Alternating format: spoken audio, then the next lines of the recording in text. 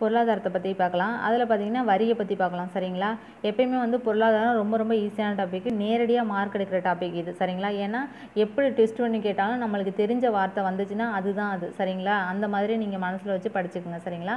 நேர்முக வரினா நேராக தெரி நம்ம கண்ணு முன்னாடியே தெரியும். மறைமுக வ- வரினா நம்ம கண்ணுக்கு தெரியாது அவ்வளோதான் ஏ வார்த்தையிலே இருக்குது பாருங்கள் நேர்முக வரி வரை மறைமுக வரி சரிங்களா?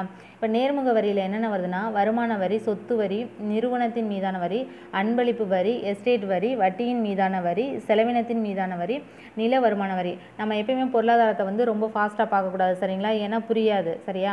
இப்போ வருமான வரி பாருங்கள் வருமான வரி பார்த்திங்கன்னா நேர்முக வரி. ஏன் நேர்முக வரி? நம்ம வந்து இன்கம் டேக்ஸ் ஆஃபீஸில் கொண்டு போய் வருமானத்து வருமானம் வந்து அதிகமாக இருந்துச்சுன்னா நம்ம அதுக்கு வரி கட்டணும். அது நம்ம கண்ணு முன்னாடி தெரியுதுல்ல. லைஃப் ஓரியன்ட் அப்படிங்க அடுத்து சொத்து வரி. இப்போ வந்து நம்மக்கிட்ட சொத்து இருக்குது அந்த சொத்துக்கு வந்து நம்ம வரி கட்டணும். ஒரு குறிப்பிட்ட அமௌண்ட்டுக்கு மேலே வந்து சொத்து நம்ம வச்சுருந்தோம்னா அதுக்கு நம்ம வரி கட்டணும். அதனால தான் பார்த்தீங்கன்னா நிறையா சொத்து குவிப்பு வழக்குலாம் பார்த்தீங்கன்னா இன்கம் டேக்ஸ் கட்டலை அப்படின்னு சொல்லிட்டு நம்ம இன்கம் டேக்ஸ் ரைடெல்லாம் வராங்க சரிங்களா? அதை ஞாபகம் வச்சுங்க. அடுத்து பாருங்கள் நிறுவனத்தின் மீதான வரி. நம்ம ஒரு கம்பெனி வச்சுருக்கோம் சரிங்களா? அந்த கம்பெனிக்கு பார்த்தீங்கன்னா வருஷம் வருஷம் என்ன பண்ணணும்? நேர்முகமாக நேர்முக வரி கட்டணும். அதெல்லாம் பார்த்தீங்கன்னா நேர்முக வரியில் வருது. அடுத்து அன்பளிப்பு வரி. அன்பளிப்பு வரினா என்ன? இப்போ வந்து நீங்கள் ஒரு திருமணத்துக்கோ ஏதோ ஒரு ஃபங்க்ஷனுக்கோ போகிறீங்க அப்படி இல்லைன்னா வரி வந்து எப்படி கட்டுறதை தடுக்கணும் அப்படின்னு சொல்லிட்டு பார்த்தீங்கன்னா ஒரு ஐம்பதாயிரத்துக்கு மேலே வந்து நீங்கள் ஒருத்தவங்களுக்கு கிஃப்ட்டு கொடுக்குறீங்க. அப்போ கிஃப்ட்டு கொடுத்தீங்கன்னா என்ன ஆகும்? ஐம்பதாயிரத்துக்கு மேலேனா நீங்கள் கொடுத்தா நீங்கள் வரி கட்டணும். இப்போ ஐம்பதாயிரத்துக்கு கீழே அதே ஐம்பதாயிரத்தை வந்து பத்து பத்து ரூபாயா கொடுத்தா நீங்கள் வந்து வரி கட்ட தேவையில்லை சரிங்களா? ஒரு குறிப்பிட்ட அமௌண்ட்டுக்கு மேலே இருந்தால் நம்ம கிஃப்ட்டு கொடுத்தா கூட வரி கட்டணும் சரிங்களா? அடுத்து பாருங்கள் எஸ்டேட் வரி. எஸ்டேட் வரினா என்னென்னா இப்போ ஜெயலலிதா அம்மா இருக்காங்க அவங்க இறந்து போயிட்டாங்க அவங்களோட சொத்து வந்து இருக்குது அப்போ வந்து அந்த சொத்துக்கு வந்து அவங்க வரி கட்ட முடியுமா? முடியாதுல்ல. அதனால தான் பா- அதுதான் பார்த்தீங்கன்னா எஸ்டேட் வரி சரிங்களா? இப்போ அந்த வரியை வந்து நீக்கியிருக்காங்க சரியா? அடுத்து பாருங்கள் வட்டியின் மீதான வரி. வட்டியின் மீதான வரி அப்படின்னு என்னென்னு பார்த்தீங்கன்னா நேரடியாக பாருங்கள் வட்டியின் மீதான வரி. வார்த்தையிலேயே எல்லா ஆன்சருமே இருக்கும் பொருளாதாரத்தில் மட்டும். இப்போ வந்து வட்டியின் மீதான வரின்னு பார்த்தீங்கன்னா இப்போ பேங்க்கில் வந்து நீங்கள் ஒரு ஒரு பத்து லட்ச ரூபா பணம் போட்டிருக்கீங்க. அந்த பத்து லட்ச ரூபா பணத்துக்கு வந்து வட்டியாக வந்து ஒரு லட்ச ரூபா தராங்கன்னு வச்சுக்கோங்களேன் அதே ஒரு லட்ச ரூபா வந்து ஒரு வருஷம் ஒ- ஒரு வருஷத்துக்கு எவ்வளோ வந்திருக்கும்? பன்னெண்டு லட்ச ரூபா வந்துருமா?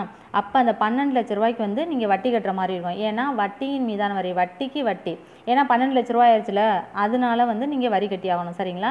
செலவினத்தின் மீதான வரி. இப்போ நீங்கள் ஒரு பொருளை வந்து வாங்குறீங்க இறக்குமதி பண்ணுறீங்க ஏதோ ஒன்று பண்ணுறீங்க அப்போ நீங்கள் அதுக்கு செலவு செஞ்சுருப்பீங்களா இப்போ வந்து லாரியில் ஒரு திங்ஸ் வருது நம்ம வீட்டுக்கு தேவையான மெட்டீரியல் வருது அதுக்கு நீங்கள் செலவு பண்ணுவீங்க. அதே மாதிரி பார்த்தீங்கன்னா அவங்களுக்கு வாடகை கொடுப்பீங்க கூலி கொடுப்பீங்க ஒர்க் பண்ணவங்களுக்கு. இதெல்லாம் பார்த்தீங்கன்னா செலவினத்தின் மீதான வரின்னு வந்துடுது சரிங்களா? அடுத்து நில வருமான வரி அப்படின்னு பார்த்தீங்கன்னா ஒரு நிலம் வச்சுருக்கீங்க அதை பார்த்தீங்கன்னா ஃப்ளாட் போட்டு விற்கிறீங்க அப்போ அந்த இடத்துலலாம் என்ன பண்ணணும்?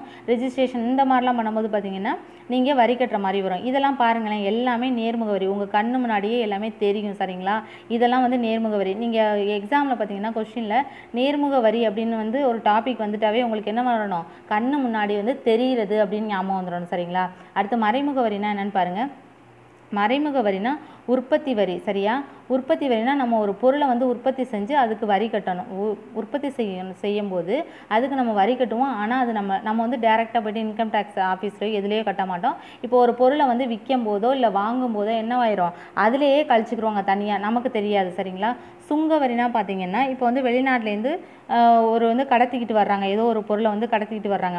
அந்த மாதிரி வந்து பிடிக்கிறது தான் பார்த்திங்கன்னா சுங்க வரி. அதுக்கு வந்து வரி கட்டாமல் எடுத்துகிட்டு வரக்கூடாது. வரி கட்டிட்டு பெர்மிஷன் வாங்கிட்டு தான் நம்ம வந்து என்னென்னா கொண்டுட்டு வரணும். சரிங்களா? அதான் வந்து சுங்க வரி முத்திரை வரி அப்படின்னு பார்த்தீங்கன்னா இப்போ ரிஜிஸ்ட்ரேஷன் ஒரு ரிஜிஸ்ட்ரேஷன் ஆஃபீஸ்க்கு போகிறீங்க அங்கே வந்து ஒரு பத்திரத்தை வந்து மாற்றுறீங்க மாத்துறீங்க ஏதோ ஒன்று பண்ணுறீங்க அப்போ வந்து அங்கே ரிஜிஸ்ட்ரேஷன் ஃபீஸ் கட்டணும்ல? அதான் முத்திரை வரி சரிங்களா? அதுலேயே பார்த்தீங்கன்னா கழிச்சிக்கிடுவாங்க ஆனால் அது நம்மளுக்கு தெரியாது சரியா? அடுத்து விற்பனை வரின்னு பாருங்கள் விற்பனை வரி அப்படின்னா என்னன்னு பார்த்தீங்கன்னா இப்போ வந்து டாஸ்மார்க் தானே இப்போ மெயினாக இருக்குது நம்ம தமிழ்நாட்டில்.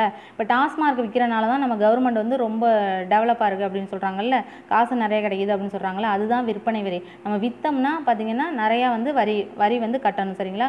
அதுதான் வந்து விற்பனை வரி. அடுத்து பாருங்கள் பொழுதுபோக்கு வரி. பொழுதுபோக்கு வரினா என்ன? நம்ம பொழுதுபோக்கு நமக்கு தெரியாது. இப்போ டாஸ்மார்க்கில் வந்து வரி கட்டுறோம் அப்படிங்கிறது அவங்களுக்கு தெரியுமா? இல்லை அவங்க நேரடியாக இன்கம் டேக்ஸ் ஆஃபீஸ்க்கு போகிறாங்க இல்லை இல்லை. அது பாட்டுக்கு வந்து ஆட்டோமேட்டிக்காக நமக்கு தெரியாமையே வரியை வந்து கழிச்சுக்கிட்டே இருப்பாங்க சரிங்களா? நம்ம வந்து வாங்குகிற பொருள்லேருந்து அப்படியே கழிச்சிருவாங்க அது நமக்கு தெரியாது. பொழுதுபோக்கு வரினா பாருங்கள் நம்ம எதை எதை வச்சு பொழுதுபோக்கு பண்ணுறோம் இப்போ வந்து நம்ம டிவி பார்க்குறோம் அடுத்து ஃபோன் பார்க்குறோம் இந்த மாதிரி தானே பார்க்குறோம் இப்போ சினிமா தேட்டருக்கு போகிறோம் இங்கேயெல்லாம் பார்த்தீங்கன்னா இதெல்லாம் ஒரு பொழுதுபோக்கு தானே?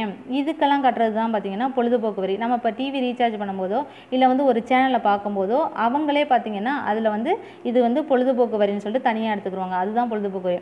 சாலை வரினா பார்த்தீங்கன்னா ரோட் டேக்ஸ் இப்போ வந்து நம்ம வந்து ஒரு பைக் வாங்குகிறோம் இப்போ ஒரு ஸ்கூட்டியோ வாங்குகிறோம் இல்லை ஒரு பைக் வாங்குகிறோம் எழுபத்தஞ்சாயிரம் பைக்கு வந்து அவங்க என்ன சொல்லுவாங்க? சார் எல்லாமே வந்து ரோட் டேக்ஸ் அது இதுன்னு கட்டிட்டு மொத்தம் எண்பத்தி ரெண்டாயிரம் வருது சார் அப்படின்னு சொல்லுவாங்கல்ல? அந்த பேலன்ஸ் இருக்குது பாருங்கள் அமௌண்ட்டு அதெல்லாம் பார்த்தீங்கன்னா ரோட் டேக்ஸ் நம்ம காலம்புல்லாக ஓட்டுறதுக்கான அந்த டேக்ஸை என்ன பண்ணிடுறோம்னா நம்ம முன்கூட்டியே நம்ம கட்டிடுறோம் சரிங்களா? அதுதான் ரோட் ரோட் டேக்ஸ் இப்போ நம்மளுக்கு அது கட்டியிருக்கிறது நம்ம கண்ணுக்காக தெரியுது. இல்லை டெய்லியுமே நம்ம போயிட்டு வந்து ரோட் டேக்ஸ் கட்டியாச்சா நம்ம பார்க்குறோம் தெரியாதுல்ல? அதுதான் பார்த்தீங்கன்னா மறைமுக வரி. அடுத்து பாருங்கள் சேவை வரி. இப்போ சேவை வரின்னு வச்சுக்கோங்க வரினா என்னென்னு பார்த்தீங்கன்னா இப்போ திருப்பதிக்கோ திருச்செந்தூருக்கோ இல்லை ஏதோ ஒரு மசூதிக்கோ எதுக்கோ நம்ம போகிறோம் சரிங்களா? வேளாங்கண்ணி சர்ச்சுக்கோ எதுக்கோ நம்ம போகிறோம் போகும்போது பார்த்தீங்கன்னா இங்கே டாய்லெட்டு கழிப்பறை எல்லாமே இருக்குது பார்த்தீங்களா அதெல்லாம் வந்து ஒரு சேவை. இப்போ நம்ம போனோம்னா அதுக்கு வந்து டோக்கன் வாங்கிட்டு நம்ம காசு வாங்கிக்கிறாங்களே அப்போ நாங்கள் ஒரு சேவை செய்கிறோம் அதுக்காண்டி தான் பார்த்தீங்கன்னா இந்த வரி வாங்குகிறோம் அப்படின்னு சொல்லிட்டு ஒரு பத்து ரூபா அந்த மாதிரி தான் கம்மியாக தான் இருக்கும். இதுதான் பார்த்தீங்கன்னா சேவை வரி. சரிங்களா? இந்த மாதிரி வந்து வரியை வந்து ஞாபகப்படுத்தி வச்சுக்கோங்க. சரிங்களா? இப்போ வந்து மத்திய கவர்மெண்ட்டுக்கு எந்த வரினால் வந்து அதிக இன்கம் கிடைக்குது அப்படின்னு பார்த்தீங்கன்னா கலால் வரி வரி கலால் வரினா என்ன? உற்பத்தி வரி. உற்பத்தி வரியை எப்படி ஞாபகம் வச்சுக்கன்னா உற்பத்தியும் கலாலும் ஒன்று தான் சரிங்களா? இது ரொம்ப இம்பார்ட்டன்ட் ஏன்னா எக்ஸாமில் கேட்கும்போது நம்மளுக்கு கலால் வரினா என்னன்னு தெரியாது. அது வந்து உற்பத்தி செய்கிறது அப்போ காலால் தான் உற்பத்தி பண்ணுறோம் அப்படின்னு ஞாபகம் வச்சுங்க. மாநில அரசுக்கு வந்து அதிக வருவாய் தருவது என்னென்னா விற்பனை வரி. இப்போ நம்ம வந்து